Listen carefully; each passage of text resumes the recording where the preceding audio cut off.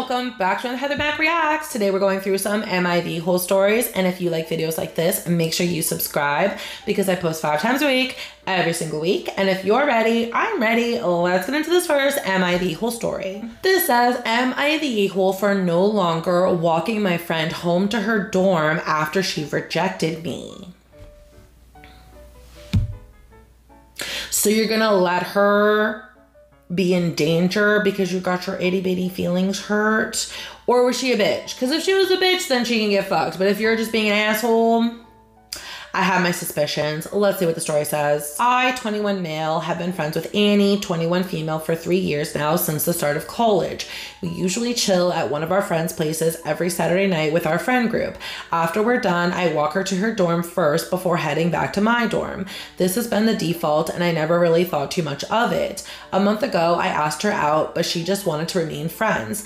It did not bother me too much, but I obviously wanted to cut back on our friendship a bit. We were still amicable and part of the same friend group and still joked around with each other. However, I've stopped walking her back to her dorm and just walk back to my dorm. The first couple of weeks, she did walk back on her own to her dorm. However, last week, she asked if I could walk her back because she was extremely scared walking alone at midnight, especially when she was drunk. I told her to just get an Uber or ask someone else because I was getting too tired to walk her to her place and then walk back to my place. The conversation was sort of awkward and we left it at that. Am I the hole? Oh, so you did get your itsy bitsy little feelings hurt. So you're telling me that you can walk her home every other day and you're magically not too tired, but the second that she says she doesn't want anything further with you than just a friend, and she tells you that nicely, you immediately start letting a drunk girl walk home alone? How would you feel if something happened to her? If someone took advantage of her while she was in that state? What if someone didn't take advantage of her, but she just tripped in her drunken state and fell down and got a concussion and stayed there all night because no one found her until the morning and then she didn't make it? All because you got your itsy bitsy feelings hurt. You're a huge fucking asshole. Let's see what the comments. We also have an update on this. And from what I skimmed, things don't get better. But let's see what the comments say. Bro, is she still your friend? It doesn't sound like it because friends treat friends better than that. Next says, This is what hit home to me too. To my eyes, it doesn't seem like he was ever truly her friend. I have a close female friend who loves horror movies, but she's always on edge and jumping at shadows afterwards. We've known each other for 20 years. Every single time we see a horror movie, I walk her to her car, to the restroom, wherever she wants to go, and when she drives home, I check that she's gotten in safely. Not because of any romantic feelings, completely platonic relationship. I don't swing that way, and neither of us is attracted to each other in the slightest, but she's my friend. She has always been there for me too. I care about her. I care that she feels safe, and that is one small thing I can do to show it. I can't imagine knowing someone I care about is scared and still letting them walk alone. She said she was terrified to walk home alone at night, and you're like, call an Uber or ask somebody else. I'm too tired. Now I'm starting to see why she didn't want to fucking date you, you prick. Let's get on to the update. This says, okay, I was the a hole. I apologized to my friend this morning and explained to her my feelings because I guess I haven't been too upfront about it after she rejected me. I told her I wanted to cut down on our one on one time and that's why I didn't walk her home last week, but that was obviously the wrong way to go about it. I was extremely drunk that night and I did not think too clearly about it when she asked me to walk her home. I told her from from next time on, she could ask me to walk her home, and I would, but I would prefer if she had someone else walk her home and to consider me as sort of a last resort. She did tell me I had nothing to apologize for and that she understood and that it was her fault and she shouldn't have just sprung it onto me at the last minute. Okay, so I guess I'm sort of understanding him saying, Can you use me as a last resort because I'm trying to keep my distance from you because you don't reciprocate my feelings? That I can sort of understand, but I feel like that's an excuse you're tacking on to the actions that you had done previously, but that wasn't your original motivation. You were just pissy, but that's my opinion. I expected the whole conversation to be super awkward, but it was not, and she seemed very happy and sort of emotional about it. We joked around after that. We're not the type to be serious with each other. We joke around a lot, so I'm super happy things are at least not awkward between us anymore. Yeah, I think she's being gracious. Let's see what Reddit has to say. It was magically her fault. She even said so. You do know that this isn't the first time someone has posted this exact same script on Reddit, right? They find out they were a major a hole, then suddenly have a conversation with the person that they were an a hole to, and they get not only an apology, but get told that it was the other person's fault. It's always such a made up fantasy. I hope your friend group wisens up to your dickishness. And next says, Yeah, I don't believe a word of the OP's update. I mean, it could be falsified. It seems a little too hunky dory. Everything is great here in Pleasantville for the situation, but that's my opinion. I would like to know what you all think about that one in the comments, and let's get on to the next story. Am I the evil for not wanting to reconnect with my family who disowned me 22 years ago? I'm sorry, disownment is a one way street, and I ain't coming back from that personally. But let's see what the story says. Super long story short of a story that happened 22 years ago. I'm now a 41 male. I'm one of four kids growing up in Adelaide, Australia. I have an older brother and two younger sisters. A couple of days after my 19th birthday, the daughter, who we considered like family, of a close family friend of ours accused me of SA during my birthday party. My family took her side of the story and I was disowned and kicked out of the family house. I then had to move in with my aunt and her family, who lives in another city, Melbourne, for eight, eight hours away, and had to rebuild my life from the ground up again. Fast forward 22 years later, I went and finished university, met my now wife, and now I have a family of my own with two young kids 10 year old and 7 year old. My aunt and her husband have been my rock throughout this whole time. They believed in me and even helped me in those early years to get back on my feet. Even today, my family would be going over to their house on a weekly basis for family meals with her family. Fast forward to about three weeks ago in late March, my auntie called me to tell me to come over as my father and siblings were at their house and they wanted to speak to me. I was reluctant, but my auntie strongly advised I come as I want to hear what they ha- now have to say. When I arrived at auntie's place, and sure enough, there were my old family, siblings, and all. They were just so much older now, but it was definitely them. Cut the long story short and give you the gist of it. I asked them what they wanted. My father and siblings spent the next few minutes apologizing and explaining to me that they just recently found out from the horse's mouth that the SA accusation was all false. They started crying, begging me for my forgiveness and hoping we could reconnect. When they had their turn to speak, I just calmly told them no and got up to leave. My older brother begged me to stay and try to work this out. He said we were family. When I heard him say this, I just told them all, no, you're not. They're just strangers to me now. My real family were my aunt and her family. Her sons were my siblings. They were my best men slash groomsmen at my wedding. I'd even changed my surname to my aunt's husband's surname. When my father heard this, he completely broke down. I don't care. I thought I would be angry or something along those lines, but I wasn't. I felt nothing for these people. They were just strangers to me now. I didn't even ask about how the truth came out. I didn't want to know. I didn't care. I told them never to contact me again. They're dead to me as I was to them all those years ago. At this point, everyone from my old family just broke down and cried. I know their tears were genuine, but again, I felt nothing for them. After this, I just left. My aunt has been checking in on me over the next few days to encourage me to forgive and forget, but I said I had nothing to forgive as these people were strangers to me. She respected my decision. I know I left out a bunch of things in the story, but I tried to write this up a couple of times already, and it always turns out too many pages long. So, am I the hole for not wanting to reconnect with my family? No, no, no, no, no, no, no, no.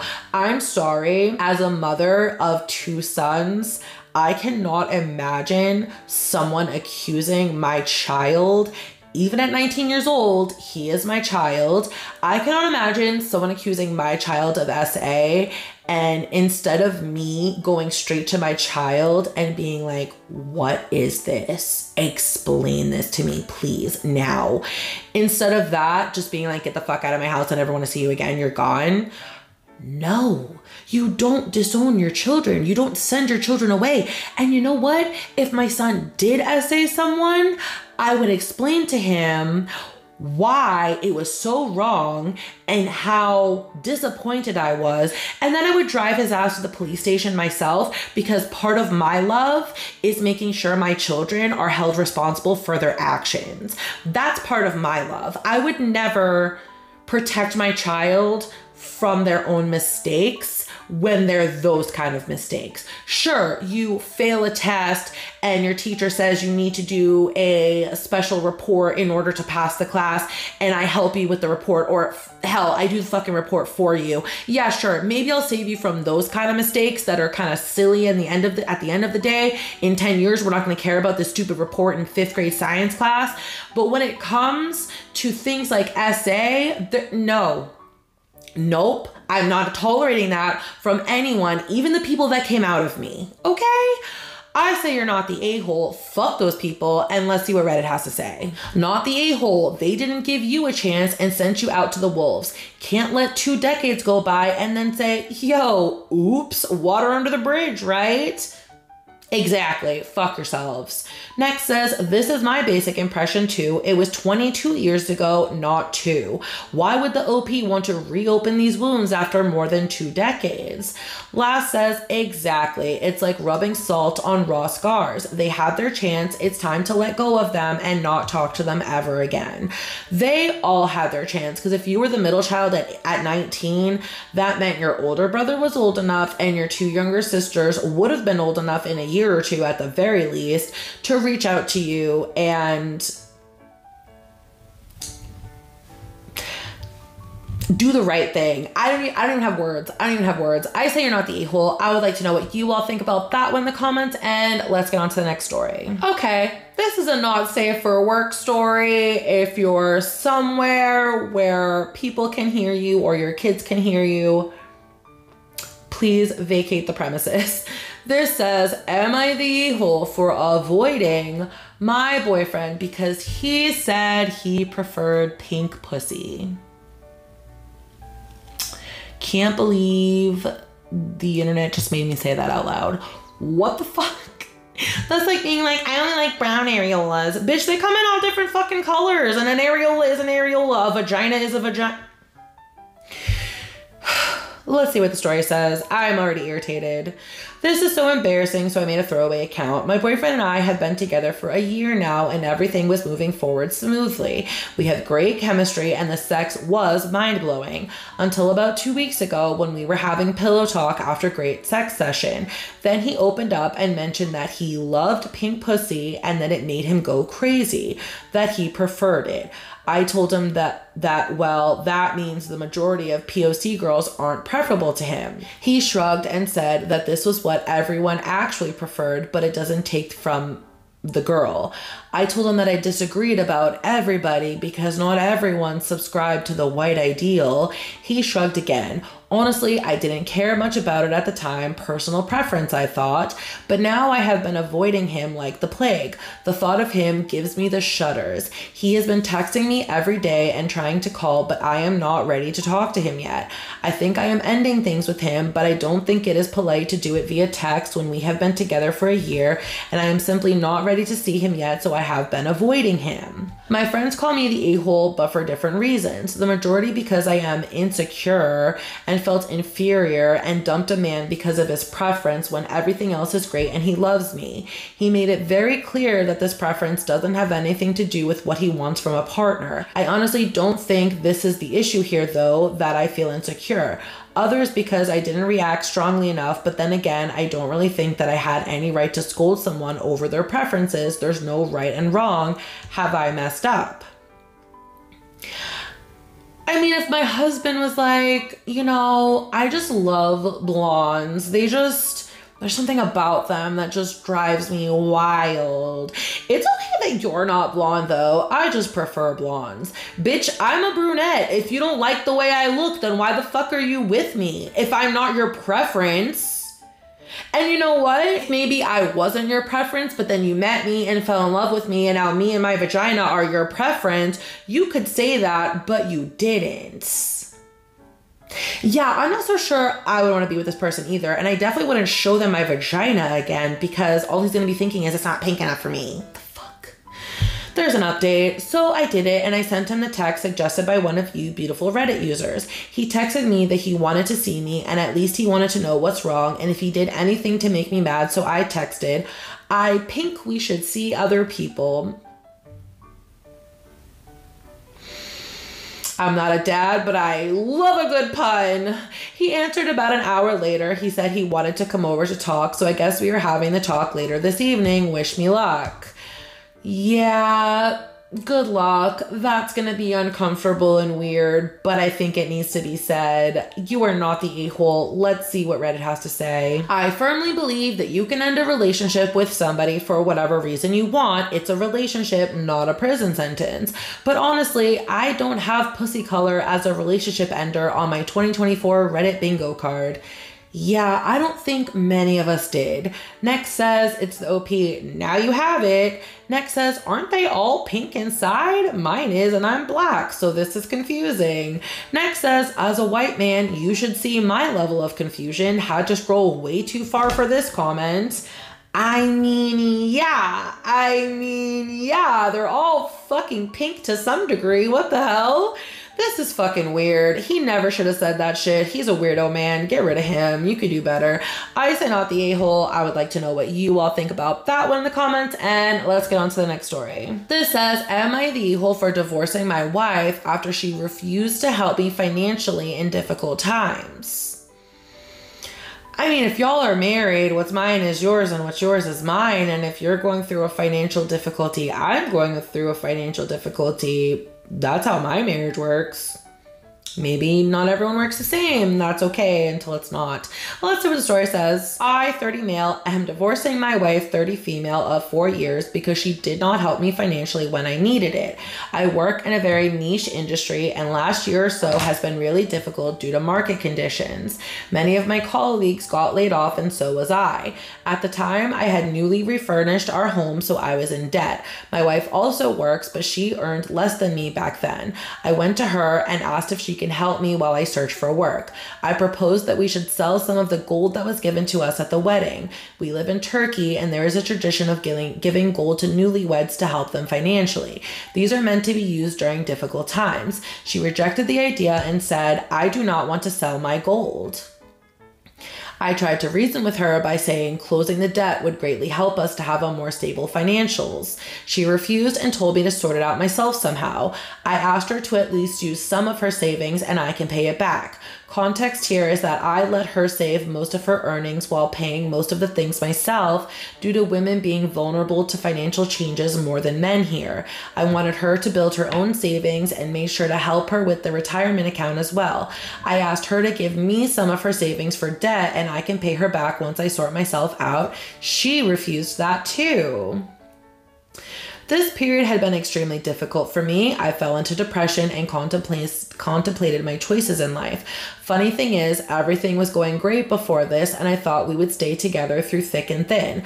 My older sister helped me pay the monthly installments during that time, God bless her soul. At the beginning of this year, I found a great job in the same industry and am thrilled right now. I could not look at my wife in the same way after what happened and started divorce talks with my lawyer friend of mine. Last month, I let her know my decision, and she was served with divorce papers soon after. Was this like a blindsided situation? Because I don't see nothing in your story talking to her about how like this ain't working for me anymore.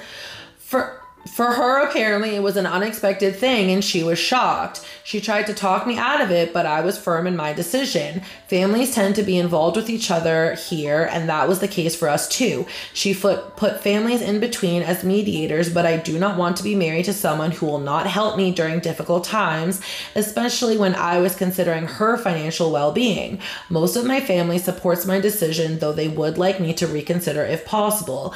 I know every other thing is without a problem problem, but I cannot get over what happened. Am I the a hole here? No, I don't think you are. I mean, you literally let her keep all of her money so you pay all the bills and you refurnished your entire home and then you lost your job through no fault of your own. And she's not going to help you with the debt that you incurred furnishing y'all's house. It's not like you bought yourself a sports car and then when you couldn't make the payments you were like please give me some of your money. And she was like no go fuck yourself like sell your sports car. That is not the situation here okay your husband was just trying to pay bills and refurnish y'all's home.